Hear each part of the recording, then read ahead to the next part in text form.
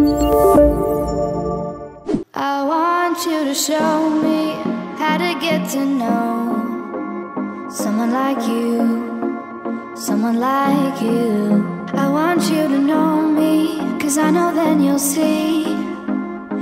uh, nhưng mà rồi thì đây bọn nó check magazine ye ladies and check cả nam mà bọn nó. Nên đây thì dress outfit cả đó. Thì cô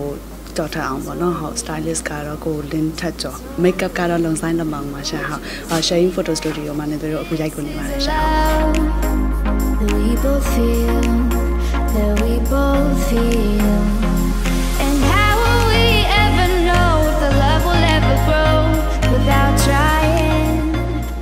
ဆုံးကတော့ဒီအတွေ့အကြုံလို့ကျွန်တော်ပြိုင်ခဲ့တယ်ပေါ့နော်နင်းသွေးပြိုင်ခဲ့တဲ့ပွဲကတော့ဒီပထမဆုံးပွဲက Miss Universe တက်ချီလိုက်ပေါ့နော်2016မှာအဲ့ဒီကပြိုင်ခဲ့တဲ့အချိန်မှာ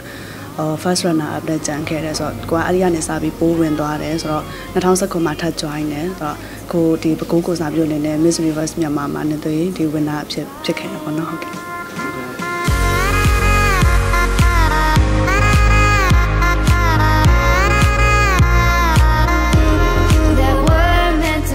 အာနင်းသွေးကဒီအမှုပညာလှူရှာမှုဆိုတာထပ်ပေါ့နော်ဟိုပြိုင်ပွဲအတွက်ပဲနင်းသွေးအာ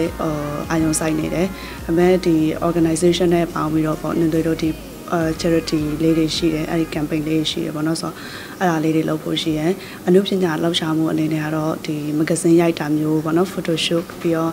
commercial လေးတွေတချို့ရှိတယ်ပေါ့နော်အဲ့ဒါလေးတွေပဲလက်ခံထားဖြစ်သေးပါတယ်ရှင်